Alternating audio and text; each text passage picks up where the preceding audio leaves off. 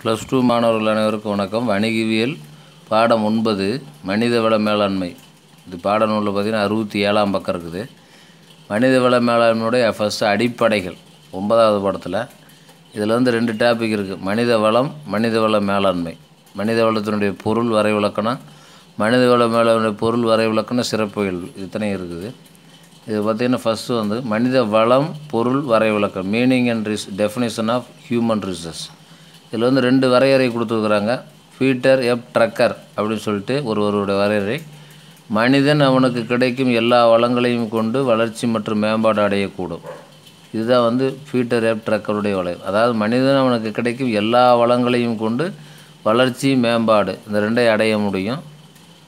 ரெண்டாவது Michael J ஜூசியஸ் அவர்கள் சொல்லியிருக்கிறாங்க. மனிதகுலம் என்பது ஒன்றோடொன்று தொடர்புடைய ஒன்றோடொன்று சார்புடைய அல்லது உடலியல் சமூகவியல் மற்றும் நெறிமுறைகள் உள்ளடக்கியது. ஃபிசிக்கலி இருக்கணும் சோசியலி அதாவது உடலியல் மற்றும் சமூக ரெண்டுமே ஒன்று கொண்டு தொடர்புடையதாக இருக்கணும். ஒன்றோடொன்று சார்ந்து இருக்கணும். இதுதான் மனித வளம் அப்படின்னு ரெண்டு வரையறை. பரீட்சையில் வந்து மனித வளம் வரையறைனா ரெண்டில் ஏதோ ஒன்று எழுதுங்க. மனித வளத்தின் சிறப்பியல்பு. இதனுடைய சிறப்பியல்புன்னா ஃபஸ்ட்டு ஒன்று வந்து உற்பத்தி செய்யும் ஒரே காரணி. மனித வளம் என்பது உற்பத்தி பொருட்களை உற்பத்தி செய்யக்கூடிய காரணியாக இருக்கிறது. ரெண்டாவது பாயிண்ட் பிற அனைத்து வளங்களிலும் மனித வளம் உருவாக்குகிறது. எல்லா வளத்தையும் உருவாக்கக்கூடிய வளம் மனித வளம். மூணாவது பாயிண்ட் பணியமர்த்தப்பட்ட பணியாளர்களை கொண்டதை தவிர மனித வளம் என்பது பணியாளர் இல்லை பார்த்துங்க.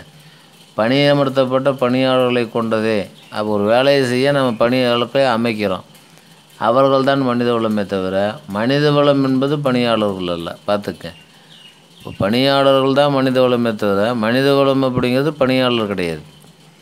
நாலாவது பாயிண்ட் மனித வளம் என்பது கண்டுபிடிப்பு மற்றும் படைப்பாற்றல் ஆகியவற்றை வெளிப்படுத்துகிறது. அஞ்சாவது பாயிண்ட் மனித தனியாக சிந்திக்கவும் செயல்படவும் பகுப்பாய்வு செய்யும் மற்றும் விளக்க விளக்கவும் முடியும். ஆறாவது பாயிண்ட் மனித வளம் உணர்ச்சி பூர்வமானவை.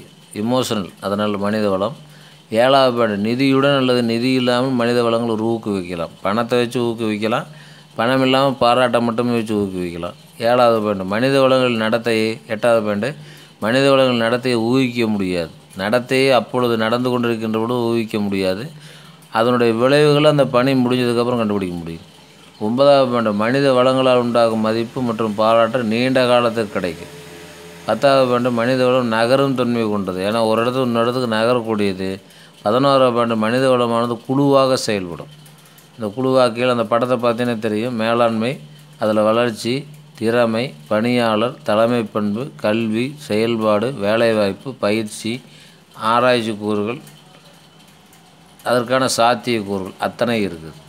அடுத்தது மனித வளத்தினுடைய முக்கியத்துவம் சிக்னிஃபிகன்ஸ் ஆஃப் ஹியூமன் ரிசர்ச் இதனுடைய முக்கியத்துவம் என்னென்னா ஒன்றாவது பாயிண்ட்டு எல்லா துறைகளுக்கும் எல்லா வளங்களுக்கும் அடிப்படையாக இருப்பது மனித வளம். ரெண்டு நிலையான வளர்ச்சி மனித வளத்தை வச்சே பேஸ் பண்ண முடியும். மூணு தொழில்துறை உறவுகள் மனித வளத்தை சார்ந்திருக்கிறது. இப்போ மனித வளம் வந்து ஒரு நல்லபடியாக இருந்ததுன்னா தொழில்துறை உறவு நல்லபடியாக இருக்கும். நாலாவது வேண்டும் மனித வளம் மூலமே தமிழ் தனி மனித உறவுகளை சாத்தியமாகிறது. மனித உறவுகள் எப்படி சாத்தியமாகுன்னா மனித வளம். அடுத்து அஞ்சாவது பாயிண்ட் மனித வளமானது பிற அனைத்து உற்பத்தி காரணிகள் எல்லா உற்பத்தி காரணிக்கு பேசுன்னா மனித வளம் தான் ஆறாவது பாயிண்ட் பயிற்சி மற்றும் அபிவிருத்தி திட்டங்கள் மூலம் மனித வளம் திறனை மேம்படுத்த முடியும். அப்போ அபிவிருத்தி திட்டங்கள் அப்படின்னா பிளானிங் அதை வந்து டெவலப்பிங் ரெண்டும் செஞ்சோம்னா மனித வளத்தை மேம்படுத்த முடியும். ஏழாவது மேலாண்மை அனைத்து மட்டங்களிலும் மனித வளத்தை பயன்படுத்த முடியும். எட்டாவது பாயிண்ட் மனித வளங்கள் சட்டப்பூர்வ கட்டமைப்பினால் நன்கு பாதுகாக்கப்படுகிறது. அப்போ எல்லாமே சட்டத்தினால் அமைக்கப்பட்ட பாதுகாப்பு கொடுக்கப்படுவதால் மனித வளம் முக்கியமாக பாதுகாக்கப்படுகிறது. அடுத்த தலைப்பு மனிதவள மேலாண்மை பொருள் வரைவிலக்கணம். Meaning and definition of human resource management இப்போ மனித வளத்துக்கும் மனித வள மேலாண்மைக்கு என்ன வித்தியாசம்னா ஏல் யோடர் அவர்கள் சொல்லியிருக்கிறாங்க. மனித வள மேலாண்மை என்பது வேலைவாய்ப்பில் மனித வளத்தை பயன்படுத்தல் அதன் மற்றும் அதன் வளர்ச்சி திட்டமிடல் திறன்மிக்க படிநிலைகள் மற்றும் பயன்பாட்டை இயக்குதல். மனித வளத்தை பயன்படுத்துறது மனித வளத்தை இயக்கிறது. இந்த ரெண்டும் சேர்ந்ததுக்கு பேர் தான் மனித வள மேலாண்மை. ஒரு மனுஷன் திறமையாக இருந்தால் அது மனித வளம். அந்த திறமையான மனுஷன் ஒரு சிறந்த பணிக்கு பயன்படுத்துறது மனித வள மேலாண்மை. அடுத்து இஎஃப்எல் ஃப்ரெஞ்ச் அவர்கள் சொல்லியிருக்காங்க நிர்வாக செயல்பாட்டின் ஒரு பகுதி மேலும் அவை ஒரு நிறுவனத்தின் மனித கூறுகளை முதன்மையாக கருத்தில் கொண்டது. நிர்வாக செயல்பாட்டின் ஒரு பகுதி வந்து மனித வளம். அந்த மனித வளம் தான் எல்லா கூறுகளை விட முதன்மையானது அப்படின்னு இஎஃப்எல் ஃப்ரெஞ்ச் சொல்லியிருக்காங்க. அந்த ரெண்டு டெஃபினேஷனில் ஏதோ ஒன்று பரிச்சுக்கு எழுதுங்க. அடுத்து மனித வள மேலாண்மை சிறப்பியல்பு ஒன்று உலக அளவில் பொருத்தமானது. உலக அளவில் எந்த வேலையை எடுத்தாலும் மனித வளம் இல்லாமல் அந்த வேலையை முடிக்க முடியாது. அதனால் சிறப்பானது. ரெண்டாவது இலக்கு சம்பந்தமானது. இலக்கு என்றால் ஒரு பணி. ஒரு பணியில் அந்த மனித வளத்தை பயன்படுத்துகின்ற பொழுது அந்த வேலை எப்படி முடியுதோ அதை பயன் பொறுத்து மனித வளத்தை மதிப்பிடலாம். மூணாவது திட்டமிட்ட அணுகுமுறை. பிளானிங் இருக்கணும். பிளானிங்கில் ரெண்டு பிளானிங். மேலாண்மை பணிகள் செயல்பாட்டு பணிகள். ரெண்டுமே மேற்கொள்ளணும். அடுத்து நாலாவது பாயிண்ட். அனைத்திலும் பரவலானது. அதாவது மேலாண்மை எங்கே இருக்கிறதோ அங்கே மனித வளம் இருக்கும். அதனால் நல்ல திறம்பட மேலாண்மை இருக்கக்கூடிய இடத்துல திறம்பட மனித வளம் இருக்கும். அஞ்சாவது பாயிண்ட் தொடர்ச்சியான செயல்பாடு. மனித வளம் என்பது குறிப்பிட்ட காலம் இயங்கக்கூடியது அல்ல நீண்ட காலம் இயங்கக்கூடியது. ஆறாவது பாயிண்ட் மாறும் செயல்பாடு. இடத்துக்கிடம் மாறும் உற்பத்தி காரணிகளை பொறுத்து மாறும். அதனால் கவனமும் விடாமுயற்சியும் பயிற்சியும் இருக்கணும். ஏழாவது பாயிண்ட் ஒருங்கிணைந்த கருவி. மனித வளம் என்பது ஒருங்கிணைந்தது. அதாவது பணியாளர்களை ஊக்குவித்தல் பங்கேற்க செய்தல் இந்த ரெண்டுமே ஒருங்கிணைப்பில் முக்கியமானது. எட்டாவது வளர்ச்சியின் மீது கவனம். மனித வளம் வந்து வளர்ச்சியின் மீது கவனம் வச்சுருக்கணும். அப்போ பட்டை தீட்டி கொண்டே இருக்கணும். பட்டை தீட்டல் என்றால் பயிற்சி அளித்து கொண்டே இருக்கணும். பயிற்சி அளிக்காமல் இருந்தோம்னா மனித வளம் வங்கி போகும். ஒன்பதாவது வேண்டும் மனித வள மேலாண்மை அறிவியல் கலை ஆகிய இரண்டும் இருத்தல். ரெண்டுமே சேர்ந்தது. அறிவியல் என்பது சயின்டிஃபிக் கலை என்பது ஆர்ட்ஸ் இந்த ரெண்டும் சேர்ந்தது தான் மனித வளம். துறைகளுக்கிடையே பல்வேறு துறைகளை ஒருங்கிணைப்பது சமூகவியல் உளவியல் பொருளாதாரம் போன்ற அனைத்து துறைகளையும் ஒருங்கிணைக்கணும். அப்படி ஒருங்கிணைச்சோம்னா மனித வளம் சிறப்பாக அமையும். ஒன்பதாவது பேண்டு கண்ணுக்கு புலனாகும். புலனாகாது. மனித வளம் கண்ணுக்கு தெரியாது. அடுத்து மனித வளத்தினுடைய மேலாண்மை முக்கியத்துவம். மனித வளத்தினுடைய மேலாண்மை முக்கியத்துவம் இந்த படம் கொடுத்துருக்காங்க. அந்த படத்தை பார்த்துங்க அந்த தலைப்பு கீழே கொடுத்துருக்காங்க பாருங்கள் மனித சக்தி தேவைகளை அடையாளம் காட்டுதல் ஒரு மனித சக்தி ஒரு வீடு கட்டுறதுக்கு பத்து பேர் வேணும் இருபது பேர் வேணும்னா அப்போ இப்போ எவ்வளோ சதுரடி என்ன ஏதுன்னு பார்த்து அதுக்கு தகுந்த மாதிரி நாட் ஆட்களை நியமிக்க முடியும். அப்போ பத்து பேர் செய்ய வேண்டிய இடத்துல அஞ்சு பேர் வேலை வச்சோ அல்லது இருபது பேர் வச்சோ செய்கிறது வேஸ்ட்டு அடுத்து மாற்றங்களை இணைத்துக்கொள்வது அப்படின்னா நவீன கருவிகள் ஏதாவது இருந்தால் அதை இணைச்சிக்கணும். இப்போ விவசாயத்துக்கு வந்து அந்த காலத்தில் கலப்பு இருந்தது. அப்போ மனித வளம் அதிகமாக தேவைப்பட்டுச்சு இந்த காலத்தில் டிராக்டர் இருக்குன்னா டிராக்டர் மா மாற்றத்துக்கு உட்படுத்திக்கணும். இல்லைன்னா கலப்பையில் தான் ஓட்டுவோம் அப்படின்னா மனித வளம் அதிகமாக செயல்படும். அப்போ செலவு அதிகமாகும். அப்போ லாபம் கிடைக்காது. மூணாவது பண்ண மனித சக்தியின் சரியான தேவை உறுதி செய்யும் சரியாக எத்தனை பேர் இருக்கணும்? பற்றாக்குறை ஏற்படக்கூடாது உபரி இருக்கக்கூடாது. பற்றாக்குறை என்பது ஒரு பத்து ஒரு வேலையை செய்ய பத்து பேர் வேணும்னா அங்கே எட்டு பேர் இருக்கக்கூடாது. அப்போ வேலை நடக்காது. அதே பதினஞ்சு பேர் இருக்கக்கூடாது அப்போ சம்பளம் அதிகமாகும். நாலாவது பாயிண்ட் சரியான வேலைக்கு சரியான நபர். ஒரு வே வேலையை செய்கிறதுக்கு அதில் அதில் யார் எக்ஸ்பர்ட்ஸோ அவங்க தான் இருக்கணும். ஒரு வீடு கட்டினா திறமையான இன்ஜினியர் திறமையான சித்தாள் திறமையான கார்பெண்டர் இவங்களாம் இருக்கணும். அப்போ அதை விட்டு வேறு டாக்டருக்கு இப்போ மெடிக்கல் லைனில் கூட நீங்கள் விட்டோம்னா அந்த வேலை சரியாக நடக்காது. அடுத்த அஞ்சாவது பாயிண்ட்டு திறன் மற்றும் அறிவை மேம்படுத்தல். அப்போ அந்த திறன் என்னதான் இருந்தாலும் அது நவீன காலத்து அப் டேட்டா நவீன காலத்து டேட்டாஸை அப்லோடிங் பண்ணிகிட்டே இருக்கணும். அடுத்து ஆறாவது பாயிண்ட் பணியாளரின் செயல்திறனை மதிப்பீடு. ஒரு பணியாளர் வந்து சிறப்பாக செயலிட்டார்னா அவருக்கு ஊக்கம் அளிக்கணும். அப்போ தான் டல்லாக இருக்கிற பணியாளர் வந்து சிறப்பாக செயல்பட முடியும். ஏழாவது போட்டி நன்மைகளை மேம்படுத்தல். போட்டி நன்மைகளை மேம்படுத்தல் எப்படின்னு எடுத்தோன்னா மற்ற சந்தையோட உலகளாவிய சந்தையோட போட்டி போடக்கூடிய அளவுக்கு நம்ம வரணும். வெளிநாட்டுக்காரங்க வந்து எல்லாமே விவசாயம் பூராமே இயந்திரமயமாக பண்ணிட்டு இருக்கிறப்போ நம்ம அவங்களோட போட்டி போடணும் நம்மளும் இயந்திரமாக ஆகணும் எட்டாவது பாயிண்ட்டு சிறந்த பணியாளருக்கு ஊக்கத்தொகை இன்க்ரிமெண்ட் இதெல்லாம் வழங்கணும். ஒன்பதாவது பாயிண்ட் பணியாளர் அர்ப்பணிப்பை தீர்மானித்தல். அர்ப்பணிப்புனா ஒரு வேலையை சம்பளம் ஒரு வேலைக்கு ஐநூறுரூவா சம்பளம்னா அந்த சம்பளத்துக்காக சில பேர் வேலை செய்ய மாட்டாங்க. அவங்க மன நிறைவுக்காக வேலை செய்வாங்க. அதை கண்டுபிடிச்சி அவங்கள ஊக்குவிக்கணும். பத்தாவது பாயிண்ட் சமூகமயமாக வலியுறுத்தல். சமூகமயமாக்கல் என்றால் அந்த வயசுக்கு தகுந்த மாதிரி அவங்களுக்கு தகுந்த குரூப்பை ஏற்படுத்தணும். ஒரு நாற்பது வயசுக்காரங்க நாற்பது வயசுக்காரங்க அந்த வேலையை செய்யறதுக்கு இன்னொரு நாலு பேர் இருக்கணும். அவங்கள இருபது வயசுக்காரங்களோட ஜாயின் பண்ணோம்னா அந்த வேலை சிறப்பாக நடைபெறாது. அடுத்தது ஒன்பதாவது வீடு சாதகமான பணியாளர் மனப்பான்மை வளர்ப்பதற்கு. அப்போ மேலாண்மை முக்கியம் அப்படின்னா கம்பெனியை பற்றி சாதகமான எண்ணங்கள் பணியாளர் மத்தியில் வர வேண்டும். அதை வளர்க்கணும். அடுத்து பன்னெண்டாவது பாயிண்ட் கூட்டு பிரதிநிதித்துவ வாய்ப்பு. கூட்டுன்னு ஒரு வேலையை செய்யக்கூடிய ஒரு தனி மனிதனுக்கு முக்கியத்துவம் தராமல் ஒரு ரெண்டு மூணு பேருக்கு நே அந்த பணியை பிரித்து கொடுக்கணும். அப்போ எல்லோரும் மதிப்பார்கள்.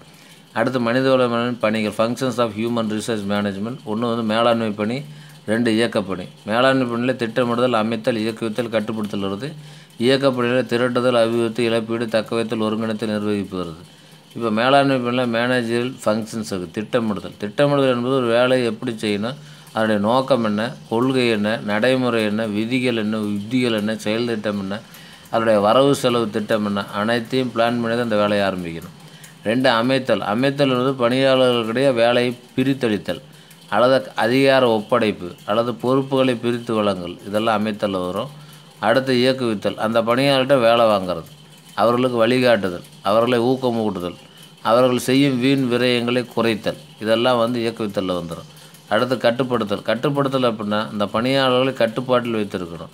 அவர்களுக்கு வரையளவு நிர்ணயித்தல். நிறுவனத்தின் செயல்பாடுகளை கணக்கெடுத்தல் தர வரையளவு செய்தல். இதெல்லாம் இருக்கணும். இவங்களை கண்காணிக்கணும் மேற்பார்வை செய்யணும் அறிக்கைகள் தயாரிக்கணும் பதிவுகள் தயாரிக்கணும் தணிக்கை தயாரிக்கணும். இத்தனையும் செஞ்சால் தான் அவர்கள் கட்டுப்பாட்டுக்குள் வருவார்கள். அடுத்து செயல் வழிகள் ஆப்ரேட்டிங் ஃபங்க்ஷன்ஸ் இப்போ முதல்ல மேலாண்மை பண்ணி இப்போ செயல் பண்ணி திரட்டுதல். திரட்டுதல்னால் ஒரு வேலையை செய்யறதுக்கு எவ்வளோ மனிதர்கள் வேண்டும் எத்தனை ஆட்களை சேர்த்தணும் எவ்வளோ தே எப்படி தேர்வு வைக்கலாம் வேலை வாய்ப்பு வழங்குறது பணிமாற்றம் எப்படி பதவி உயர்வு இது எல்லாத்தையும் அனலைஸ் பண்ணணும். அடுத்து வளர்ச்சி. வளர்ச்சியில் மதிப்பீடு பயிற்சி இதெல்லாம் ரெண்டுமே இருக்கணும். அப்போ தான் அந்த வேலையை வளர்ச்சி அடைய செய்ய முடியும். பணியினை சிறக்க செய்ய முடியும். அடுத்து ஊதியம். ஊதியம் வந்து நல்லா வேலை செய்வர்களுக்கு ஊதியம் சம்பளம் ஊக்கத்தொகை மேலூதியம் மற்ற நலன்கள் இன்சூரன்ஸ் போன நலன்கள் அதான் விளிம்பு நலன் கொடுத்துருக்காங்க. அத்தனை வழங்கணும். சமூக பாதுகாப்பு திட்டங்கள் இருக்கணும். இப்போ வீடு கட்டி கொடுக்கறது அவங்களுக்கு மருத்துவமனை அமைச்சு இதெல்லாம் செய்யணும். ஊழியர்களை தக்க வைத்தல். ஊழியர்களை தக்க வைக்கணும் அவங்களுக்கு ம- பாதுகாப்பு இருக்கணும் நலன் இருக்கணும் சமூக பாதுகாப்பு வேலை திருப்தி இது வாழ்க்கை தர உயர்வு இத்தனை இருந்தால் அவங்க அந்த கம்பெனியிலே இருப்பாங்க. அடுத்து ஒருங்கிணைத்தல். ஒருங்கிணைத்தல் என்பது எல்லா டிபார்ட்மெண்ட்ஸையும் ஒருங்கிணைத்து அவர்கள் நல்லிணக்கத்தை ஏற்படுத்தணும். அடுத்து பராமரிப்பு. பராமரிப்பு என்பது அந்த பணியாளர்கள் திருப்தியுடன் பணியை செய் செய்கிறார்கள் என்று பராமரிக்கணும். மனித வளத்தை கணக்கில் எடுத்துக்கொள்ள வேண்டும். தணிக்கை செய்யணும். இத்தனை பராமரிப்பு என்ற சொல் குறிக்கிறது. இந்த பாடம் முடிந்த மாணவர்களே இதில் ஒரு மார்க்கில் அஞ்சு கேள்வியும். குருவினா அஞ்சு சிறுவினா அஞ்சு இருக்கும். பெருவினாவில் வந்து ஒன்றாவது மனித வளத்தின் சிறப்பியல் இருக்குது. அந்த அஞ்சு எழுதுனா போதும். நீங்கள் ஒரு ஏழு பாயிண்ட் படிச்சுங்க அஞ்சு எழுதுங்க. மனிதவள மேலாண்மை முக்கியத்துவம் அஞ்சு தான். மனிதவள மேலாண் மேலாண்மை பணிகள் விவரி மனிதவள மேலாண்மை செயல் பணிகளை விவரி. மனித வளத்தின் தனிப்பட்ட சிறப்புகள் வந்து முன்னாடி பக்கம் வாங்க. ஒன்றாவது கேள்வி பெரிய கேள்வியில் மனித வளத்தின் சிறப்பியல்பு இது பார்த்தீங்கன்னா அறுபத்தி எட்டாம் பக்கம் இருக்குது. மனித அறுபத்தெட்டாம் பக்கம் ஒன்றுலேருந்து ஆரம்பித்து பதினோரு பாயிண்ட் இருக்குது. நீங்கள் ஏதாவது ஒரு ஆறு ஏழு பாயிண்ட் படிச்சுங்க அடுத்து ரெண்டாவது கேள்வி மனித வளத்தின் முக்கியத்துவம். அதுலேயும் ஒன்றாவதில் ஆரம்பித்து எட்டு பாயிண்ட் இருக்குது. நீங்கள் எட்டையும் படிச்சுங்க பரிட்சையில் அஞ்சு எழுதுங்க. அடுத்து மனிதவள மேலாண்மை மனிதவள மேலாண்மையினுடைய சிறப்பியல்னு சொல்லிட்டு இந்த பக்கம் இருக்குது பேராவர் நீங்கள் ஒரு தலைப்பு எழுதி அதில் ஒரு ரெண்டு ரெண்டு ரெண்டு ரெண்டு லைன் எழுதுனா கூட போதும். தலைப்பு எழுதி அது சம்மந்தமாக முக்கியமான கருத்துக்கள் மட்டும் எழுதுங்க. இதில் வந்து பார்த்தீங்கன்னா பதினோரு பாயிண்ட்ஸ் இருக்குது. ஏதாவது ஒரு ஆறு பாயிண்ட் எழுதுனா கூட போதும். அடுத்து மனிதவள மேலாண்மையோட முக்கியத்துவம் அது வந்து இதில் வருங்க மனித சக்தி அடையாளங்கள் அதில் ஆரம்பிக்கிறோம். அதில் பத்து அதில் பன்னெண்டு பாயிண்ட் இருக்குது. அவ்வளோதான் இதில் வந்து நீங்கள் தலைப்பு மனப்பாடம் பண்ணிங்க அதில் இருக்கிற முக்கிய குறிப்புகள் மட்டும் எழுதுனா போதும். ஏன்னா அஞ்சு மார்க் எழுதும். அடுத்து மேலாண்மையினுடைய பணிகள் மேலாண்மை பணி செயல் பணி. மேலாண்மை பணியில் வந்து பார்த்திங்கன்னா நாலு தலைப்பு கட்டுப்படுத்தல் வரலாம். அடுத்து செயல் பணியில் பார்த்தீங்கன்னா பராமரிப்பு வரல இருக்குது. அவ்வளோதான் இந்த டாபிக் அண்டர்லைன் பண்ணிக்கங்க.